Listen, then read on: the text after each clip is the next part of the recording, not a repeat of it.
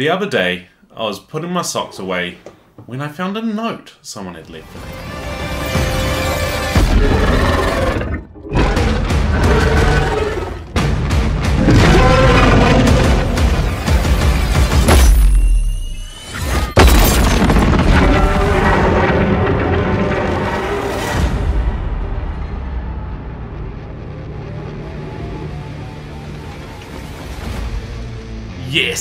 Total War Warhammer 3 is coming to PC Game Pass and, of course, Game Pass Ultimate on day one.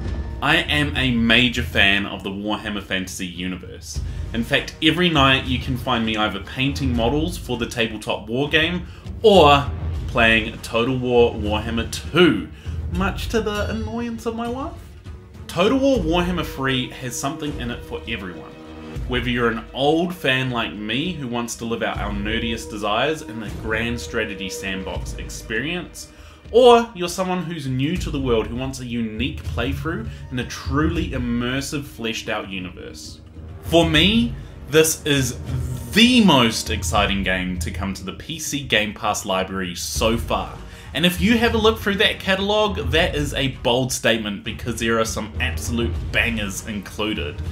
Even better though, it is coming on day one.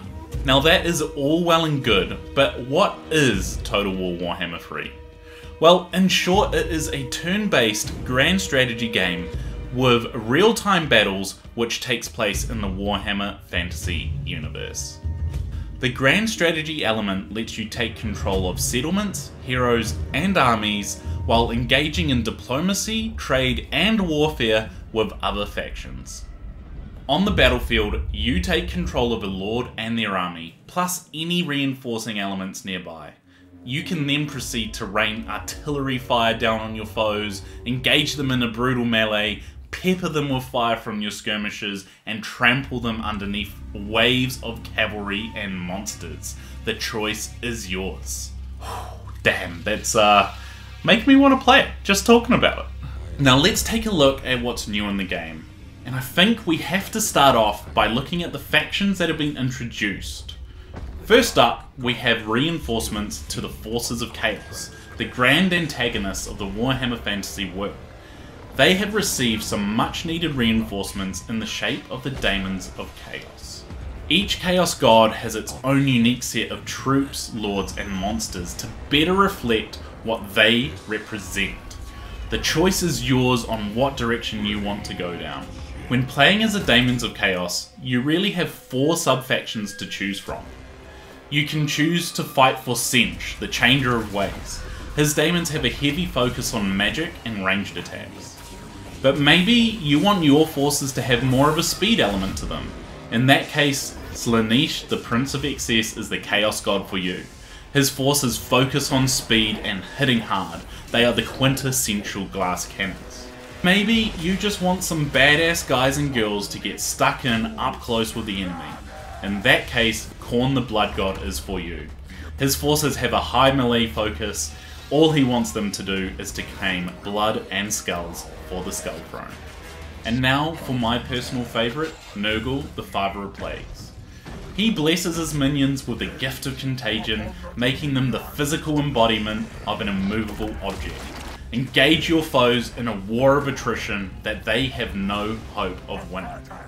Warhammer 3 has also seen the introduction of a faction that was not really represented in the Warhammer tabletop game, Grand Cathay. Grand Cathay is a faction that takes heavy inspiration from historical China. They are situated in the far east of the Warhammer world, and just like the nations of humans, elves, and dwarves in the west, they are constantly beset upon by the forces of chaos. Unlike the nations to the west, however, Grand Cathay has been protected for generations by the Great Bastion. This is a massive wall that absolutely dwarfs its real world counterpart, the Great Wall of China. However, the protection of the Great Bastion is at an end. The forces of chaos are on Grand Cathay's doorstep and pouring into the nation proper. The forces of Grand Cathay focus on complementary warfare. They have equal parts melee to ranged, infantry to cavalry. They even have flying airships. If you've ever wanted to fight with giant terracotta warriors, then the forces of Grand Cathay are for you. Separating Grand Cathay from the rest of the Warhammer world are the Mountains of Mourn, home to the Ogre Kingdoms. Ogres worship a deity called the Great Maw, which displaced them from their original homeland. That's right, they worship a giant mouth which ate where they used to live. Naturally, they are obsessed with food. They fight for food, get paid in food, see their pets as extra wiggly food, they even worship by eating. In fact, the only armour which is commonly worn by all ogres is a gut plate, and that is purely a means to protect their continued ability to eat. Playing as the Ogre Kingdoms means you're going to be bringing a lot of big dudes to the fight. You'll be frequently outnumbered, but you'll more than make up for it with the mass of your troops. For a race obsessed with food, there's a lot more depth to the Ogre Kingdoms than initially meets the eye.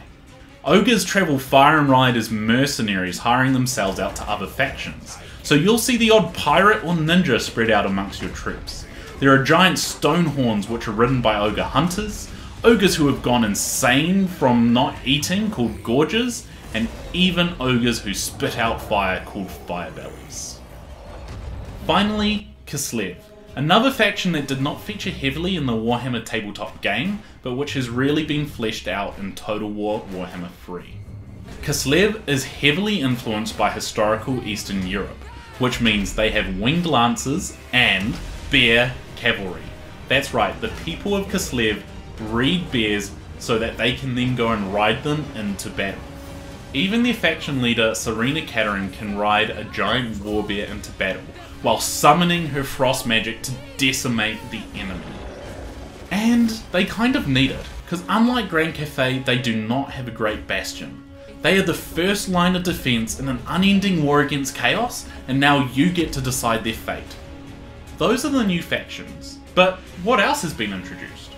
Well, there's been a lot of quality of life gameplay features added, like being able to more easily see troops in heavily wooded areas. A whole new region, of course, has been added to the map, and there's been major reworks to siege battles. Now when you fight siege battles, you'll notice that the map itself is a lot bigger. There's also multiple layers to the city itself, meaning you can garrison archers on a bridge and rain fire down on the enemy below. You even get points to build barriers and obstacles, even towers in the city streets to add layers to your defense. For the first time in Total War Warhammer 3, you will be able to take the fight to the Realm of Chaos itself. A major part of entering this realm will be survival battles, a brand new battle mode that will be introduced. Survival battles see the attacker trying to capture different strategic locations on a map. As they capture these strategic locations, they'll be attacked by waves of enemies. Luckily, the more locations you have, the more points you accumulate over time. You can spend these points on new units to reinforce your army, upgrades to units, or even building defensive locations, obstacles, and towers. Okay, I think I've nerded out enough. But there is still one thing that I'd like to address, and that's why this game in particular is going to be awesome on PC Game Pass and Game Pass Ultimate. First of all, let's talk about where this game is going to hit us. That's right, in the pockets. I'm talking about money. Where I'm from, in Little Old New Zealand, Total War Warhammer 3 is going to cost me $99.99 new. Whereas PC Game Pass cost me $12.95 meaning I could get 7 months of PC Game Pass for the cost of Total War Warhammer 3. So rather than buy the game outright, I'm going to stick with my PC Game Pass subscription. That way, I can save my hard earned cash to spend on DLCs. Because anyone who's played the Total War Warhammer series up to now will know that their DLC is amazing.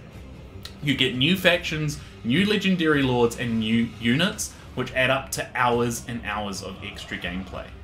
If PC Game Pass is sounding pretty good to you, make sure you sign up. You're going to be able to pre-install Total War Warhammer 3 so you can play it as soon as it launches.